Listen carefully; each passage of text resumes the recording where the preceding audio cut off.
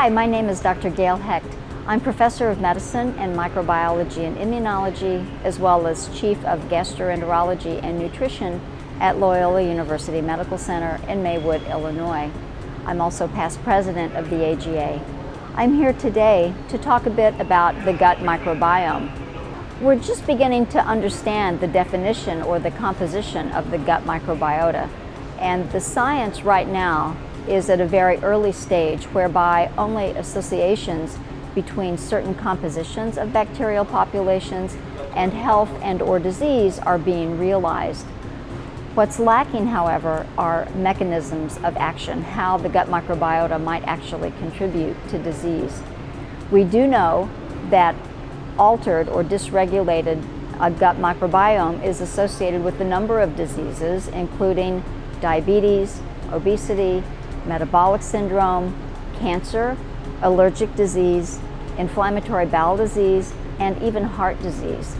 The question is, how can this be?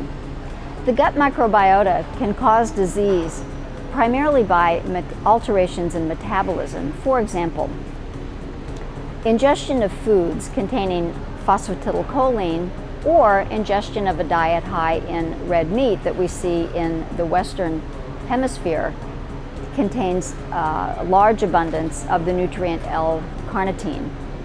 Both choline and L-carnitine are broken down by the gut microbiota to um, a molecule called trimethylamine.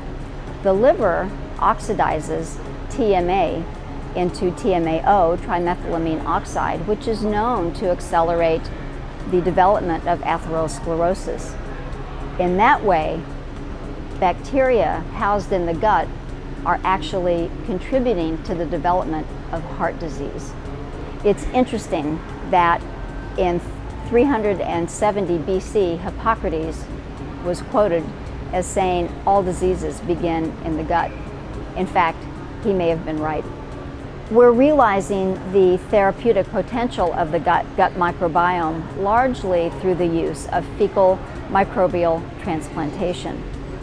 We know that by restoring the healthy human gut microbiome to individuals with recurrent C. difficile disease, that a normal microbiome or microbiota population can be reestablished, thereby ridding C. difficile and clearing the infection.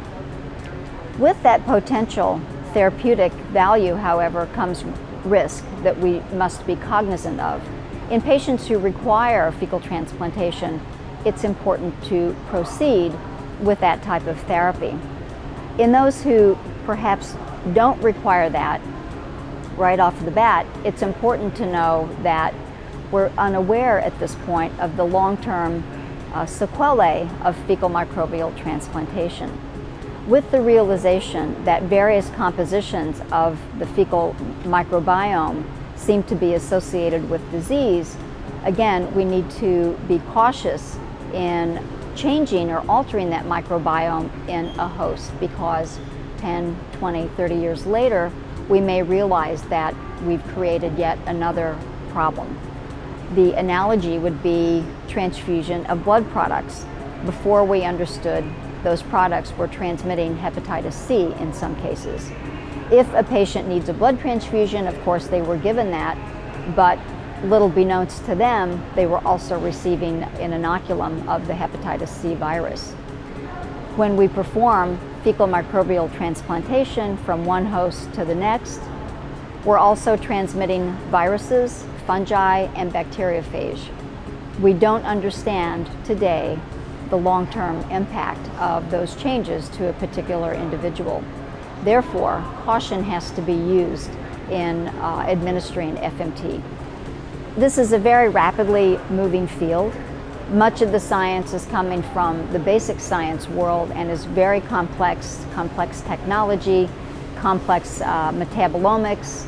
But to the practitioner, I think it's important to at least pay attention to some of these areas because I can envision in the next decade, perhaps, that we will be incorporating some of these strategies into our daily practice. Again, that could be as simple uh, as altering diet and, and combining dietary alterations with some of our pharmaceutical approaches.